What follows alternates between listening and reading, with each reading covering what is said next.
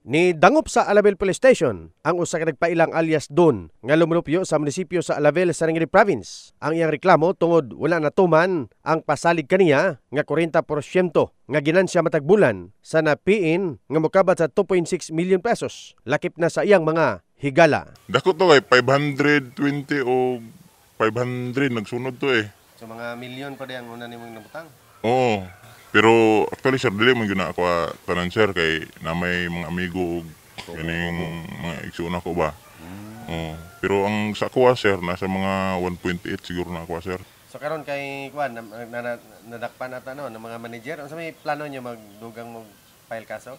Jud ko sir. Makita sa resibo ni alias Don ang napiin ini sa managlahing kantidad adunay 50 mil pesos hangtod na sa upat ka gatos ka libo ka pesos. Gawas kang alias Don aduna pay nakapiin nga nagalaom nga mauli ang ilang kwarta bisan wala nay tubo.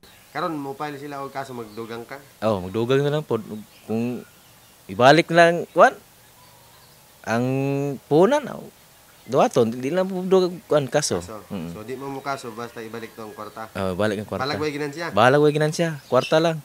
Ani? Ah, ang ako alang ikasulti ug ginagyan ginahangi gid nako sa katong mga media ang nagdala aning programa ni bunta maluoy sila sa mga kay mga pobre baya mi na ang anang kwarta dili baya na agi nagsayon kun dili gikan na sa mismo gina sarili gid na namo income nga nang Singot yun mo. sa singot gid namo dili namo na ipanga pa, pangayon sa uban kung dili gikan gid na sa mo ang sarili gyud Ginaatangan kanunay sa ubang naka-invest ang opisina sa Kahayag sa barangay Bagakay, Alabel. Apan sumalas tag-iya sa establishmento, wala na ni balik ang nagrinta ng investor. Kaya bulan nga nasarado ang Kahayag sa Alabel kanetong Hulyo 15 sa kasamtangan nga tuig. In the heart of changing lives. Kini si Ver Jason, Brigada News.